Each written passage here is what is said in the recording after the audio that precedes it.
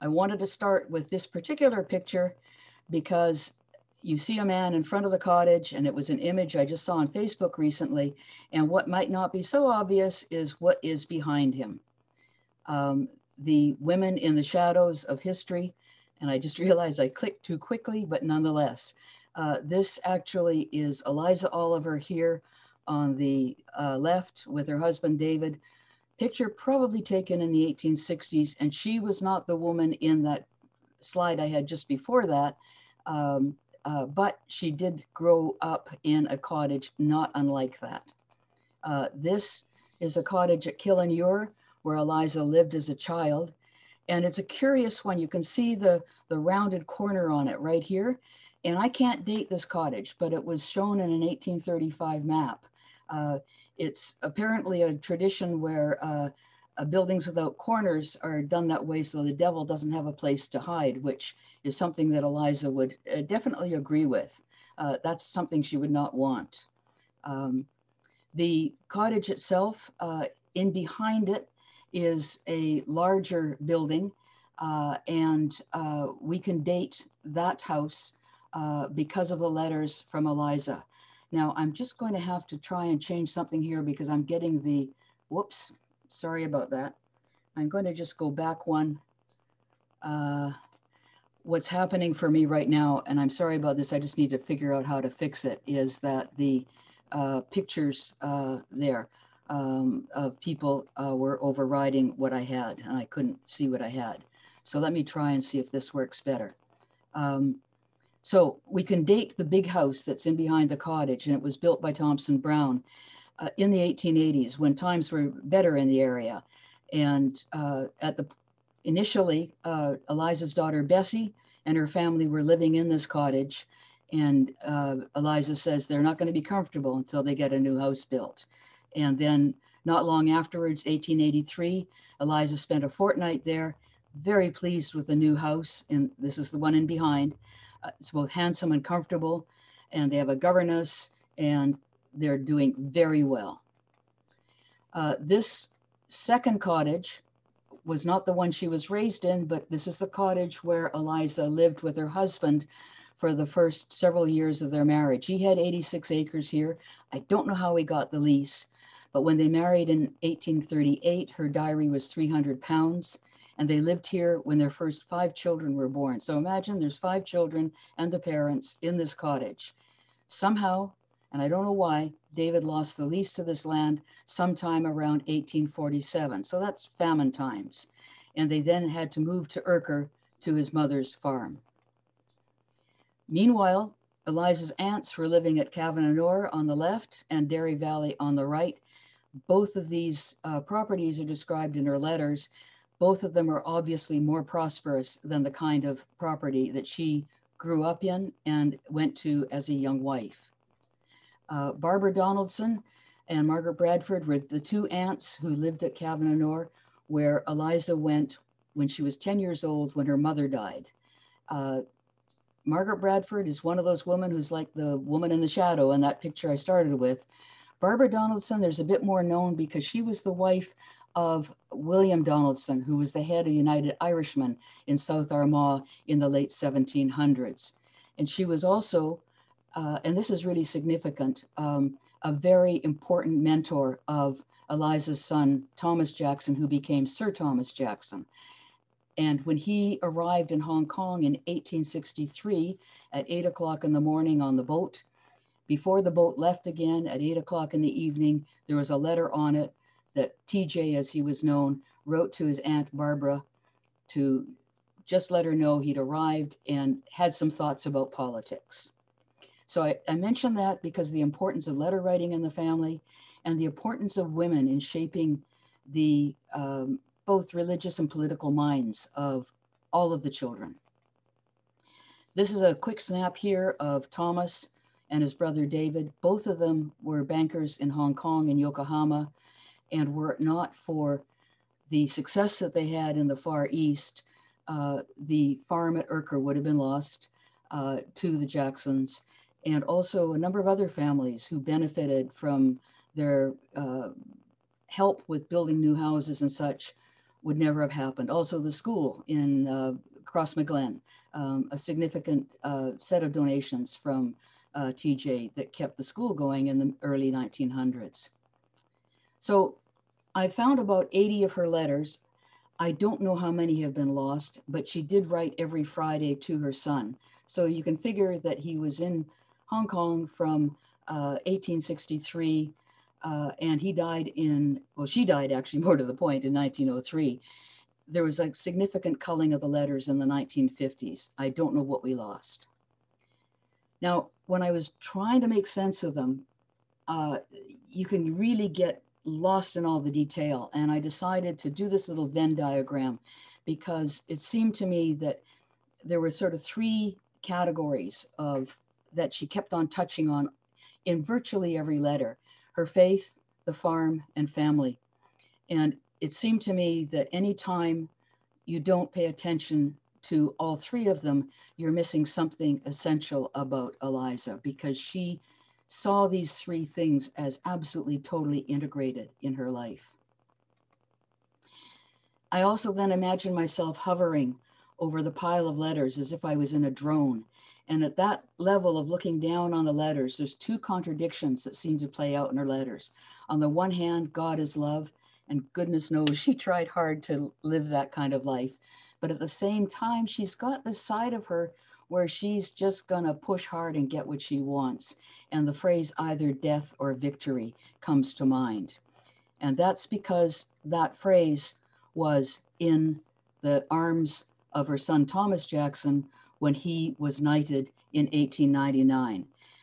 And she wrote a letter before then in 1887, which is, I think, revealing whether it's faith in God or the old blood of Derry and the Boyne, that is the cause. I'm not much given to fear for the future. Well, she's not quite honest there because she feared quite often, but she did do her darndest not to fear. Uh, the, the line in uh, the arms of uh, Sir Thomas Jackson are echoed in a Robert Burns poem, uh, which ends, uh, verse ends, let us do or die. And to me, that's pertinent because in her letters, Robert Burns is her most favorite poet. She quotes him all the time. So the last thing I want to draw your attention to is in the arms of Sir Thomas is the red hand of Ulster in the upper left-hand corner. So where did I find all these letters? various places. I'm going to just quickly touch on all of them. The first letter I held in my hand was in October 2003, and it was thanks to Tina Staples, who's the chief archivist at HSBC. Uh, in this letter, Eliza's writing to her son on the occasion of his marriage. And she says to him, Oh, my dear children, be helpers of each other on this heavenly earth be most attentive and affectionate and confiding to the dear girl that has left all for you, and be particularly careful of her health. She's very young and her constitution cannot be fully formed yet. So it's important to uh, recognize that uh, Minnie, as she was called, the wife, was 20 years old when she married. Eliza was 23 years old when she married. I don't know uh, exactly what Eliza's concerns were, but this is what she's telling her son. Uh, I took this picture here to the left because one of the lions that is outside the HSBC office in London and also in Hong Kong is named Stitt, and it's named after Gordon Stitt, who was one of the bankers of HSBC who came from County Armagh, as did about a dozen others. Uh, Eliza was, if nothing, a well, she should have been hired by HSBC as a recruiter um, she kept on sending all kinds of Armagh boys over to Hong Kong. So in 2003, after I'd been to uh, HSBC, I went over to uh, Christine Wright had invited me to Guilford Castle. This is a picture of a bureau that included some of Eliza's letters. And most of these letters have been saved by Mary Minari, who had married James Francis Wright, and she was the daughter of Eliza's daughter, Mary Jackson. So by the time I show up in 2003, these letters have been saved by the women for four generations. Also in 2003, I met the Bowman Vaughns and their direct descendants of Eliza's son, Sir Thomas Jackson. There, there were more letters. The painting, which is behind Annabelle and Venetia, includes some of their Lloyd family ancestors, the Lloyds of Beechmount, County Limerick. Three years later, 2006, the next batch of letters, and this was a significant batch. Sir Michael Jackson and his wife Hazel invited me to Jolliffe, County Devon, where they lived. And in this room, there was a tin box which contained 64 letters, which had been found in a bog at Urker. Now, I can't even quite believe that that's where they were, but that is where they were. Uh, and they were retrieved in the mid 1900s. Michael suggested that I take them back to Canada, and he gave me two instructions uh, keep them until I check them all out, but please do not mention me as their current custodian. So I never did, but he's died a decade afterwards. I do feel free now to say where they were found, and I am hugely grateful in his trust that I could take these letters back to Canada and scan them all. Also in 2006, I met three other cousins in Groomsport County Down. On the left is Dr. Thomas Alexander McNeil, and his mother had done extensive research on our shared relations. Seated in the middle is Thomas Andrew Jackson, uh, a great grandson of Eliza Jackson, and he was raised by his grandmother because his mother died in childbirth uh, when he was two years old and his younger brother was born. The, the beauty of this, it's a tragedy obviously, but the beauty is that Thomas had a recollection of the stories of an earlier generation that otherwise I would not have had access to. And finally, Eily Ryder, an absolute character, born at Freeduff. I stayed with her several times. She drove me around, and I have to say that took a lot of personal courage. Uh, approach to roundabouts, whether or not there was a red light, was to simply charge on through at which point Thomas would uh, yell out, Ye shall be baptized. And I just would cower in the back seat. So I just mentioned that as the dangers of doing family research. These letters here are thanks to Gary Barnes uh, from Bangor. Uh, he bought all of the family uh, letters, etc., photographs that were in Eileen's house uh, when she was being put into a, a senior citizen's home. And uh, uh, unfortunately, Eily is now in the state of dementia. She's 100 years old. But these uh, uh, documents came from ones that she'd had, ones that uh, Thomas Andrew Jackson had had, and also ones that came from my great aunt Blynn Brown, who had been in an old folks home in 1963 when she died. Eily cleaned out all her stuff. They ended up in this pile. The one thing that didn't end up here, and thank goodness, was that when Blynn died in the old folks' home in Belfast, there was a loaded pistol in the closet. However, in the midst of this pile, I suppose there was something equivalent to a loaded pistol. There's a transcription of a document done in Eliza's hand that shocked me. It was a forgery of a Jesuit oath, and I read it and was appalled, and I wondered why had Eliza made a copy of this? What did it say about what she believed? And when did she make this copy? This is some of the language. I will hang, waste, boil, flay, strangle, and bury alive these infamous heretics. And it goes on, and I'm not going to go with the whole thing. I felt I had to learn more about it, found out that it was first published in 1670 in this book based on an earlier forgery done in 1610. And its author, interestingly, not only hated Catholics, but also Presbyterians and every other kind of dissenter. And how he got away with this forgery and why it lived on is uh, exposed by a writer, very, very readable. I recommend this book, Blunders and Forgeries.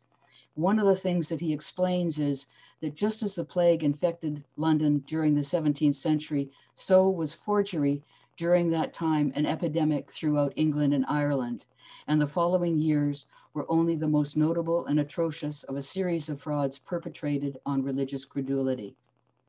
Uh, the title Foxes and Firebrands came from a biblical story about firebrands being tied to the tails of foxes and sent into the enemy camp to create chaos which is what lies do. Whoops, I didn't mean to do that. Let's try again here. So there, with this pile, there were also a number of transcriptions that Eliza did when she was 13 to 16 years old. At the end of each section of these transcriptions are a comment by the Reverend John Hamilton Stubbs. And in a letter to her, he replied to an issue that she had raised with him. So bear in mind, this is a very young woman, 13 to 16 years old, and she's questioning about the parallel of the unjust steward, which I find quite intriguing given the whole uh, controversies of uh, uh, land ownership and stewards and how it all worked. And so he offered to visit her. And at the time she was living at Cavananore with her aunts. Why is this relevant today? I think it is. I recently found this fake Je Jesuit oath posted on Facebook. And the context of it is interesting because it says to me something about how these things work. But before I get to that, I just want to comment on Marshall McLuhan, Canadian, I just want to mention that in 1962, talked about the dangers of the global village and how it would force people to retribalize. And he was right, it did. But on the other hand, political events have always caused people to retribalize. And we see this in the 1880s in the letters of Eliza when the politics deepened the divisions in Armagh during the Home Rule controversy. And her letters shift reflects some of the shifts in these loyalties, and her views shifted. Um, and I, again, this is not particular to Ireland, it happens all around the world. So here we have in 2021, the Jesuit oath forgery was recently posted in its entirety on a Georgia University Facebook page in America. It's Robert Ware's most pernicious and successful lie. Now, some of the comments didn't surprise me, things like the Pope is the anti Messiah Christ. But what did surprise me, but not totally, was the way that it was linked to the next comment, which says today's podcast includes the full truth about mRNA vaccines, prions, mad cow disease, etc., etc. It seems to me that the global village and the rural village then as now conspiracy theories proliferate in times and places when and where people are feeling fearful and uh, their identity feels threatened. So a few years ago, there was a couple of books that just by accident I happened to read at the same time. And the fact that that happened that way led me to understanding aspects of Eliza that I'm not sure I would have had I not done that. The first one, a book I recommend to all people interested in Irish history, is Two Lands on One Soil. And the second one, Robert Sapolsky, Behave, the Bio Biology of Humans at Our Best and Our Worst. So Sapolsky's a neurologist. And the things to me that are key when I'm reading Eliza's letters are that his research shows that already by the time we're three or four years old, we're already seeing the world in terms of us and them. His research also shows that there's two kinds of people in the world, those who divide the world into two kinds of people and those who don't. And there are more of the first. And I would definitely class Eliza in one of the first, in spite of the fact I think she often tried not to be. And part of the reason for this is we judge ourselves by our act motives and we judge everybody else by their actions, by their impact on us. So when we do something that's kind of not so cool, we're pretty good at forgiving ourselves. Finally, he talks about cooperation and why should people cooperate. Um, talks about how animals do. And uh, schools of fish, you're less likely to be eaten if you're in the safer spot in the center. And so the whole herd, the whole flock, the whole school comes together. And by coming together, they are safer. I won't go, this is the last uh, riff on this kind of thing. He points out that the amygdala, which is right here, handles our freeze or flight responses.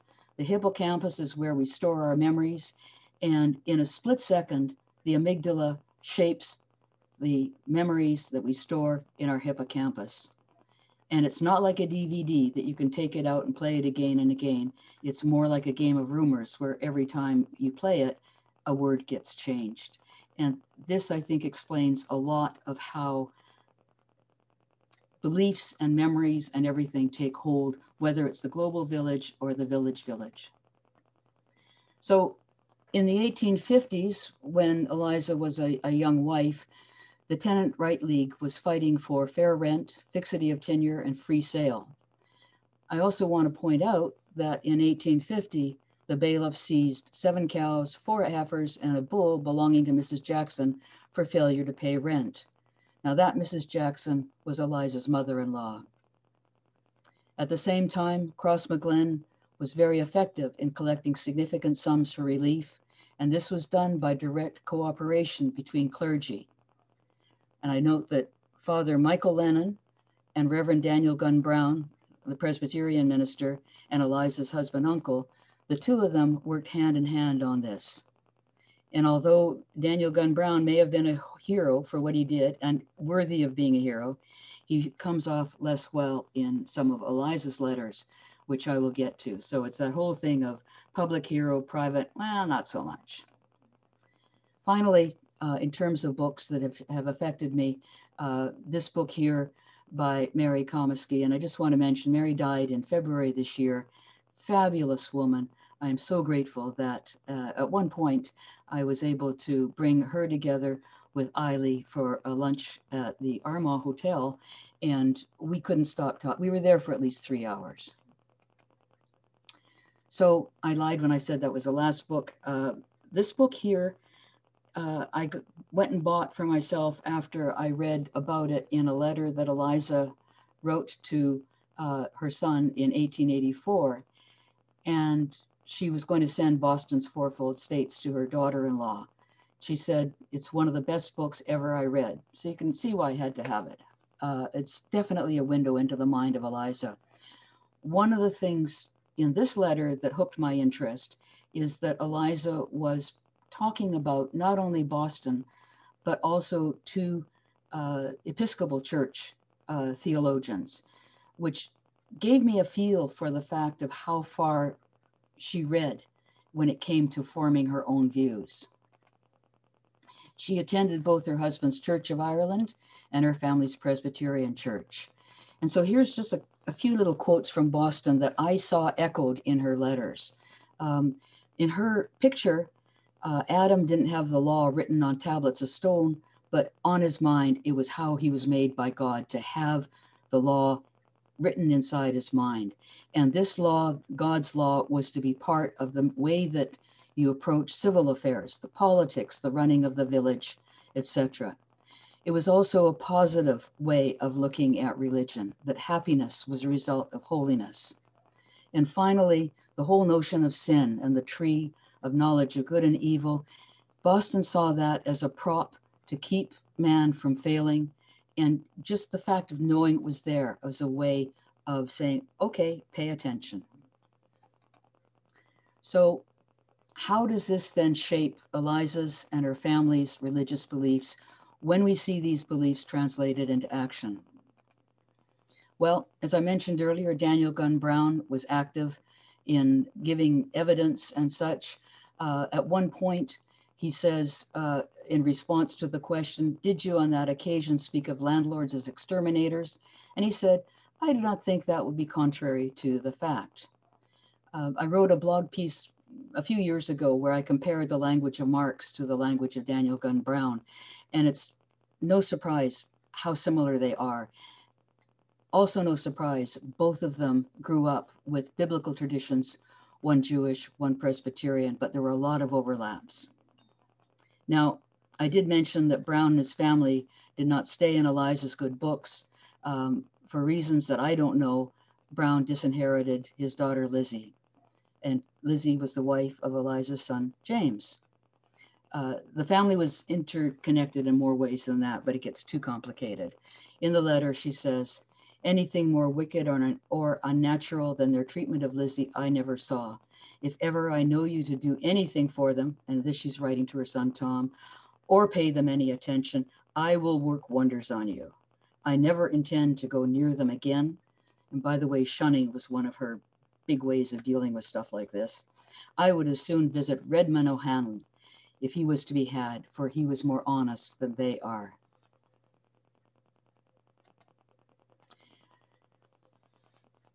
Several years later, um, and this struck me as something that I would never have guessed in a million years that Orangemen were part of the Land League and working on behalf of the rights of tenant farmers, including the Catholic tenant farmers. And in this news article, David Jackson is one of them. So is his son, Eliza Jackson. Uh, uh, sorry, uh, Eliza Gilmore, uh, his son-in-law, I should say. And when I look at all these other names, I recognize how related they are to the Jacksons of Urker. And I don't have time to go into that here, but this is a reality that was news to me. Um, again, because I'm sort of in this theme now of looking at how do religious beliefs impact actions. Uh, Eliza recommended Roman Catholic children as well as not uh, Presbyterians, Church of Ireland, you name it, to go and work in Hong Kong. And this is one of them.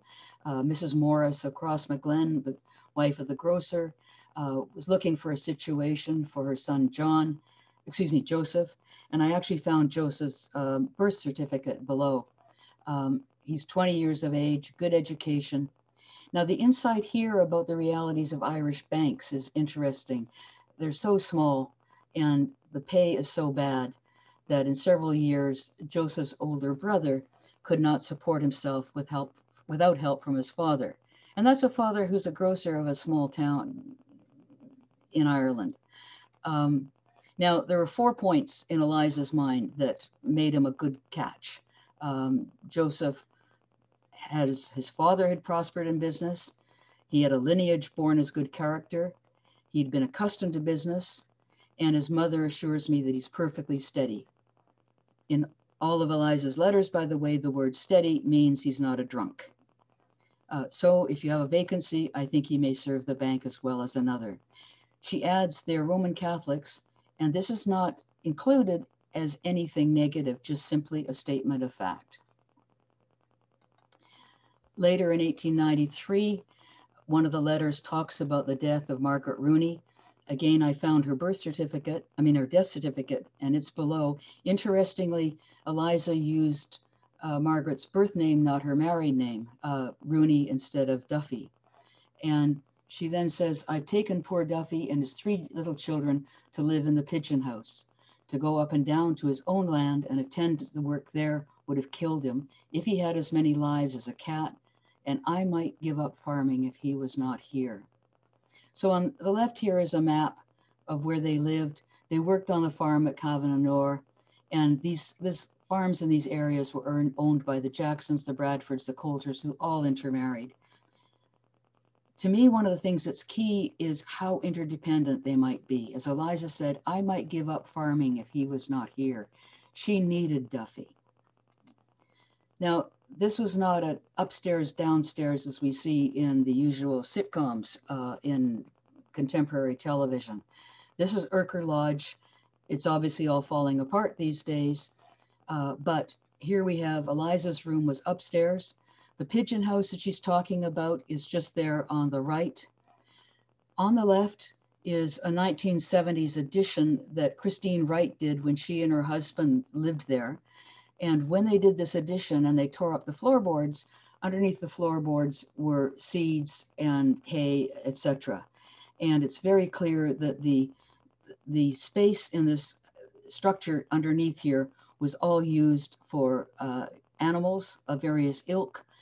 And uh, right here, these rooms here, some of them were used for the hired hands, whether uh, out in the yard or ones who worked in the house.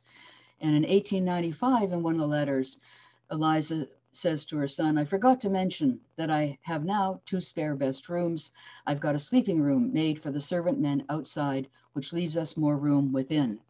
Now, that structure you can't see in the picture, but it's on the other side in behind the, the main part of the building in here. And it's a brick structure that was built at some point uh, where the uh, servant men could live. So behind here is a whole enclosure of farm buildings. And so the Jackson children all played with the children of the, the workers, which makes sense of why uh, Sir Thomas would end up buying houses for the children of some of them when he was successful, which he did. Excuse me. So Eliza didn't only take on the Catholic Church, she took on the Church of Ireland. And in many of her letters, she's ragging after her son Thomas to get his children baptized, to give them a cast of the Scotch kirk, saying that would save the sin of telling lies over there, that they renounce the devil and all his works, the pomps and vanities of this wicked world, and all the lusts of the fresh flesh is a thing that no one can altogether do in his life. I, I, I like that she emphasizes how hard it is to uh, renounce all this. And also declaring, and this, of course, is a theological point that she was quite dear to her. Uh, he descended into hell when we know well that he finished the work of redemption on the cross. So these were the kinds of discussions that you see again and again in these letters, sometimes right up against the discussion of bank records. At age 80, she's still holding to her anti Catholic stance and writes to her son Thomas about his son Thomas, who's going to go to Oxford, and says, I hope and pray that the old lady of Babylon will never get one of my children or grandchildren. Now, that phrase was one used by Sir Walter Scott in his diary of 1829. And Sir Walter Scott was a poet who was uh, quoted more than any other in all of her letters. She clearly knew his works by memory and I'm sure that all of her children did as well. By this point at 80, her letter, handwriting is starting to get shaky and her eyesight was going. So switching now from Eliza's theology to her fears about money in the decades before Sir Thomas made his fortune and bailed out the farm at Urker and purchased Cavananore, um, very few mothers see their children's faces on banknotes, but that was her reality. But before then, she lived in great fear of financial calamity. This letter is dated in 1860, and it's one of the ones I got thanks to Gary Barnes. Uh, Bessie, uh, who she's writing to, is 17 years old. Eliza is 45. And Bessie is my great grandmother. She married Thompson Brown, uh, the ones who then built the big house in 1883.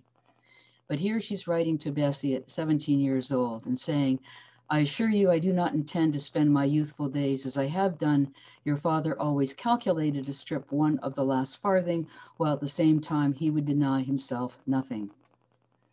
I did not come a pauper into this family, although I have been as humble and self denying as if I had. Remember, she had a dowry of 300 pounds which only left him more to destroy, and he did destroy all I ever saved. He never knew what it was either to feed, clothe, or educate his children. If I had insisted from the first upon being supported as I was well entitled to, it would have given him something else to think of than indulging every whim that came into his own head. People should not forget their own rights any more than the rights of others. That phrase in particular just blows me away. Uh, that to me could be said by a contemporary feminist. I am as poor as Job's cat. The high price of the hay is, I suppose, preventing people from buying it, and I have neither tobacco for the men nor tea for myself. I am living in fear of some of the creditors. So, how did this come about? Well, the whole bunch of family wills made things go sideways, and some of the calamities uh, I put a pinball machine here because that's the only way I can start to make sense of it. Things just pinballed all over the place. Uh, the first one, starting with Thomas Bradford of Cavananore, who died in 1790. Um, he left his wife, age 32, with five young children. We have here Elizabeth, who was Eliza's mother. She married Benjamin Oliver, and Elizabeth at this time was five years old. Andrew Coulter Bradford, who became the guardian of Eliza and her sister was only two years old. And these kinds of ages when uh, the baton is passed from one generation to another, absolutely critical. Um, the 1813 will of Benjamin Oliver, uh, in this mill, he made two key errors. Uh, and Eliza's letters are often hot with her opinions about that, and they add color to all of the machinations behind the scenes as families all had their elbows up looking for their own interests. Um, and it created an intergenerational family dispute, which lasted for years, and also lots of court cases. So the first mistake was that Benjamin's brother, James Oliver, who was an ex executor of the 1813 will, had a son, John Oliver, and after 1852, John Oliver had inherited rights from James to some of the land that Benjamin had bequeathed only to his children. And in the next generation, John Oliver's son, who is another John Oliver of Ballycrummy, continued to have a right to some of this inheritance. And that John Oliver and his wife Margaret Rock are the ancestors of the current day Olivers of Ballycrummy. And I just want to point out that it's taken DNA and the work of Carolyn Henry, who's here today, Francis Oliver, whose wife Maureen is here, and myself to prove the links between these two lines of Olivers. Now, in 1825, Benjamin created a trust, which was lightly triggered by the death of his wife, Eliza Bradford, that year. It was attached as a codicil to the will, but he made a mistake of not including the name of his youngest living son, Andrew Bradford Oliver, who was seven, even though Andrew's older sister, Eliza, was included, as was his younger sister, Mary Jane. Benjamin's wife's brother, Andrew Coulter Bradford, was appointed guardian of the minor children, and his will, 15 years after Benjamin's death, provoked even more chaos. I can't take time to get into all of this because it'll go too long for what I'm trying to stick within. But the long and the short of it is that Elizabeth Jackson ended up with annuities not paid to her and the value of the assets diminished thanks to mismanagement by the trustees. And in her letters, she gets furious with the Gilmores and the ones who were managing it. One thing I just want to point out in terms of the letter that we saw earlier is to highlight the fact that in this 1847 will of Andrew Coulter Bradford, which is the same year that David Jackson probably lost the rights to the farm that he had in County Leitrim when he had married Eliza.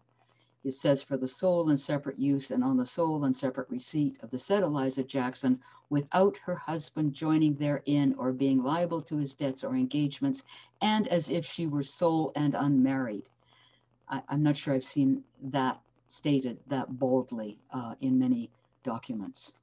Again, another will, Eliza Donaldson, echoes the same kind of thing, free from the power. This is, she gave uh, 300 pounds to Eliza Jackson's sole use and benefit, free from the power or control of her husband. One thing to point out about that money, it came at a particularly helpful time because it enabled Eliza to send her son Thomas to Morgan School in Dublin, where he got the kind of education that enabled him to become a banker, which enabled him to save the farm. Uh, her mother, Barbara Bradford, her will was uh, dated 1859. Again, put a great firewall up against David Jackson getting his fingers on any of it. Finally, an 1875 will of Mary Jane Oliver, the younger sister of Eliza, where Eliza doesn't get a benefit, but what she gets is forgiveness of a loan that had gone to her husband and forgiveness of the interest that he never paid. So the entire family was very organized about making sure that Eliza was protected and that David Jackson could not get his hands on the money. So in 1880, uh, when Eliza's older brother, uh, his he died, um, and his the land at Killinor was going to be sold. And again, she said it was my poor father's neglecting to settle his affairs that did the whole mischief. So this was the summation of the whole thing.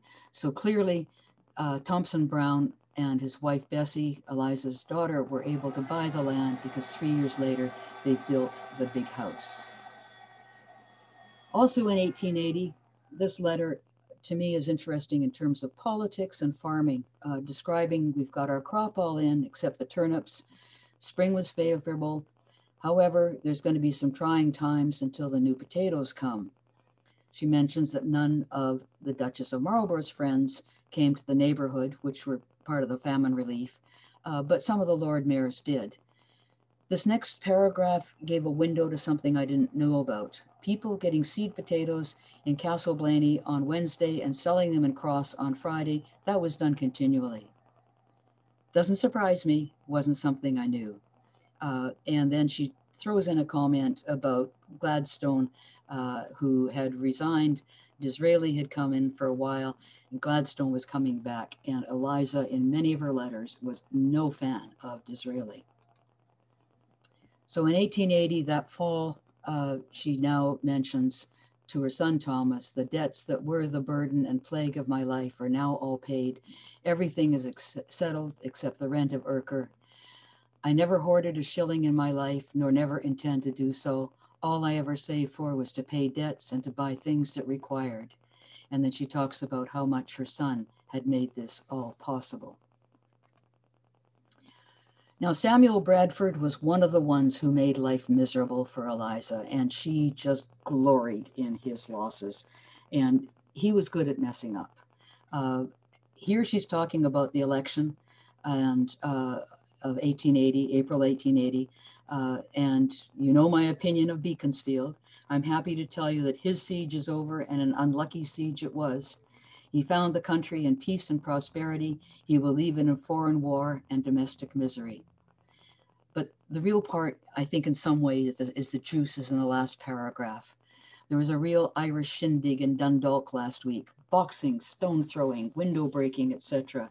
The two candidates for the borough boxed in the courthouse. Our dear cousin Sam took a warm interest in one of the candidates, but the one he favored did not win. And the mob went through the town singing, We'll hang Sam Bradford on a sour apple tree.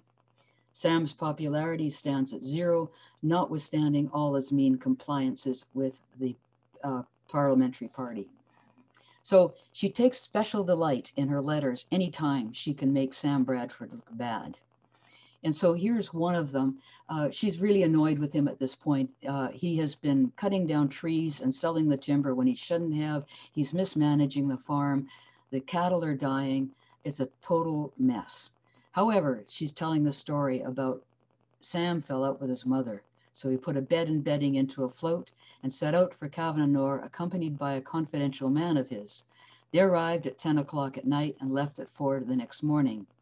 I would like to know their experience of the site, but they told no one and kept the whole matter as quiet as possible. The place is said to be haunted, but I know what the ghost is just the roaring of the chimneys in the empty house. She doesn't uh, savor this particular story just once. She savors it again. Did I write you that Sam endeavored to sleep a night in Cavanagh and had to fly out of it before evening? He fled actually naked, durst not venture back for his clothes, but had to send a man for them. She also talks about the poor old perpetual. And this is again where this came up again and again and again the offense that people gave her by uh, managing the Cavanagh uh, wills and the legacies in ways that were really harmful to her. One of the phrases that occurs repeatedly in her letters is to heap coals of fire on his head. So I'd never heard that phrase before. Uh, so I thought, okay, let me check out the family Bible. And I happen to have Eliza's daughter Betty's Bible, uh, which had been passed on to me. Found the phrase in Proverbs and in Romans. And apparently, there was a custom of carrying a pan of burning coals on one's head as a sign of repentance. The biblical take was that kindness and forgiveness to those who abuse us will make them ashamed and hopefully bring them to repent. It's sort of passive aggressive, it seems to me, but anyway. Also, that the strongest and most powerful response to persecution and hatred is to love your enemies. I'm going to just whip through these, but here she's talking about the McCulloughs of Drummock, where she heaped coals of fire on their heads. Uh, uh, many more times a year later, heaping coals of fire, thanks to the help she's getting from her son. Uh, this one particularly delicious to her because Daniel Gunn Brown wrote asking for 35 pounds, promising to pay at May, and she sent him 40 pounds. I've heaped coals of fire on many a head this year. Finally, the McCulloughs, again, who were ones who had done ill towards her in her uh, take on it uh, with respect to Cavanagh, and I heap coals of fire on them, which set a good example to others. So, judging, I guess I'm judging a little bit when I say the passive aggressive thing about coals of fire, but um, maybe that's part of being human. And uh, anyway, I won't. let me just put that aside for a moment. Uh, this is a picture of two people, uh, part of the family uh, archives. And uh, you look at it, and what does it look like? He's a minister. Yeah. She's his wife. It's not until you read the letters that you find what's behind this story. And here we are, 1893, July the 11th. We have heard nothing from Sally McCullough since she landed in New York. I never got a greater surprise than that marriage. I never heard of it or dreamed of it till one morning I got a letter from her saying that Mr. Whiteside was going to California and that she intended to go with him and asking my permission to be married from this house, which is Urker, on a day in the same week. I was struck of a heap, but of course I made them welcome and entertained them as well as I could. They were married by Mr. Reed in Creggan Presbyterian Church. That would be at Freeduff. They're very fond of each other, and one pleasant feature in the case is that she's going to the town where her brother Johnny resides. He's a widower with a large family, and she may be useful to him and he to her. 1894, March 28th. Your favorite, she's writing to her son, Thomas, your favorite Sarah McCullough had a fine young son born sometime in January. Her letters are cheerful. She seems to be comfortable and happy. Now, Eliza wasn't born yesterday. She knew what was going on. The backstory is that Sarah McCullough uh, was a daughter of Thomas and Sarah McCullough of Derry Valley. She married Reverend William Sherlock Whiteside on April 1893. Two days earlier, he'd resigned because of ill health. He had been the minister there, and they left for New York the day after their marriage. Their son was born five and a half months later on October the 1st, 1893, and eventually they moved to Australia where they lived a long and happy life. Now, Eliza wasn't judgmental of Sarah, but she was extremely judgmental of her daughter, Mary Minari, and her affair with Fred Griffin. I don't have time to get into all of this. There were, she mentioned in many letters. Some of them are in an article that I did just recently in the Creggan Historical Society. So when Eliza's widowed daughter, Mary Minari, fell in love with Frederick Griffin and then married him. Eliza cut off all contact or support of any kind and encouraged others to do so as well. Fred was 14 years younger than Mary and not steady, which meant that he enjoyed his drink, and he did. Eliza called him a peacock, and some of her fears were about money, and I, I think those were well founded.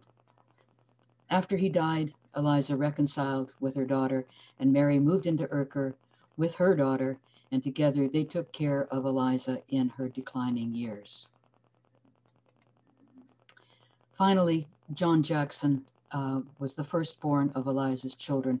And in terms of judging, I find this one particularly touching. Uh, John suffered from being in the shadow of his younger brother Thomas, and throughout his life struggled with alcohol addiction. And in later life, Eliza recognized the harm that she had caused, and she wrote to Thomas saying, I have not heard from Johnny very lately, but the last accounts were not good. Ah, dear Tom, take warning by me and tell your wife to do so too. Never make a favorite of one child above the rest. I did that, and see how I am punished for it. Uh, I would add that addiction does appear intergenerationally in the Jackson family, so the cause may not lie totally at Eliza's feet, but game on her for owning that. Her last years were lived contentedly. 1887, she says, Your father and I are just like a newly married couple, living quietly, but we are very well contented. Uh, several months later, the old governor and I are quite alone, just like a newly married couple. We are both well, for I need not complain of my ears. It gives me no pain. It's not worth speaking about. By the way, at this point, she was stone deaf. Um, eight months later, her husband died. Uh, the picture, which was taken before he died, shows Eliza on the left at age 84, her daughter Sarah Gilmore, her granddaughter Mary Jane Bartley, and her great granddaughter Eileen Oliver Bartley, who became a medical doctor and who was responsible for much of the documentation upon which this history rests. Eliza died at Urker October 23, 1903, three months after the death of her son, David Jackson, in Yokohama. She was buried with her husband at Creggan, not at Kane, County Louth, where her mother and aunts were buried. There's no marker on her grave, and there's a gap showing where at least one gravestone was stolen. But that gravestone was not the one that would have mentioned her. I've got a transcription of it. In her very last letter, at least the last of the ones that I have, she says, Fanny insists that I wait to write to you, though I'm not able to do it. It is not in my memory when I write a letter. She is re- rejoiced at your occasion of title, but you know that I never considered titles any better than uh, a word I couldn't read. And the only thing gratifying to me in the office is that I know that your labors and merits were appreciated. This is just after he was made a baronet, uh, after having been made a knight three years earlier. I know that you will never forget that you are a farmer's son no more than I do that I am a farmer's daughter. To me, this is key to understanding her sense of self. So, have we moved her out of the shadows? She was orphaned as a child, instilled with us them beliefs at an early age, and yet she acted with some compassion, considerable compassion towards many kinds of people. She was obviously opinionated and a stout defender of rights and faith. She rarely bent in her opinion, and yet she could admit sometimes to some mistakes. As a mother of 10 children, eight of whom survived her, one died in infancy, she lived with constant fear for the health of sons who lived on the other side of the world. While she continued to face frequent financial fears and uncertainty, she kept up to date and fully informed about politics and the HSBC bank account reports. After all, many of their staff were hired on her say so.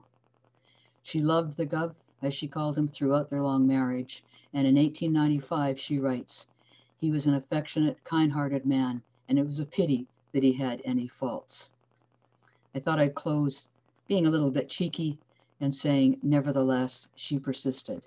And that's a quote from uh, the leader of the uh, Republican Senate in America when he was uh, dressing down Elizabeth Warren after he had mansplained everything to her.